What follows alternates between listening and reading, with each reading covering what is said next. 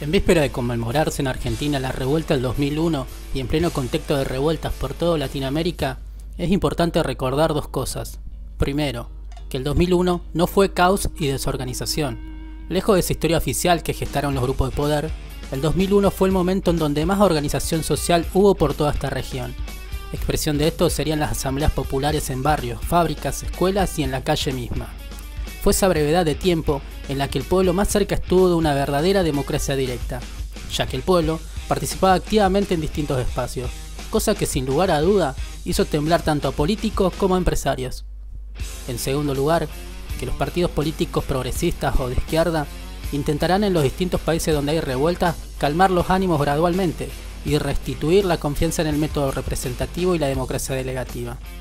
Lo sabemos, acá también pasó y aunque algunos de ellos llegaron a gritar en las calles que se vayan todos, hoy ocupan cargos de poder funcionales al capitalismo extractivista y el capitalismo financiero.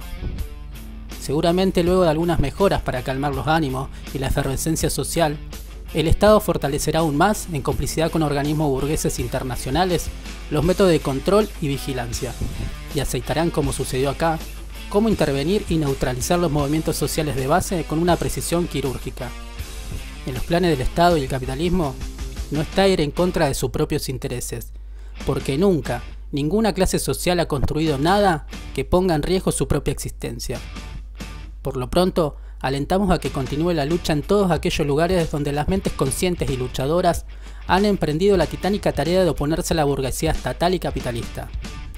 Y les pedimos, desde el humilde lugar que nos toca ver sus luchas, que estén atentos a esos farsantes que intentarán meterse en medio de asambleas populares o incluso espacios anarquistas, solo para restituir la confianza en una democracia siempre amiga del capital. Les dirán que están desorganizados, que esto es pasajero, pero nosotros, como internacionalistas y anarquistas, tenemos plena confianza y reivindicamos estas explosiones de rabia del pueblo proletario como el comienzo de una verdadera organización, la del pueblo, sin partidos políticos, ni empresarios, ni referentes religiosos. Continuaremos colaborando desde este pequeño espacio en darle difusión a lo que dicen y hacen. Salud y anarquía.